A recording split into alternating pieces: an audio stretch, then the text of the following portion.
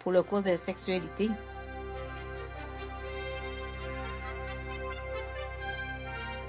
Euh, George Orwell, George Orwell, c'est qui ça, euh, Iwan?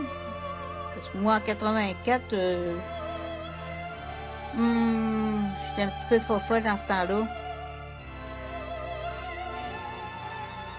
En tout cas, là, là c'est pour ça que là, je fais une vidéo pour les endormis, les zombies du Québec.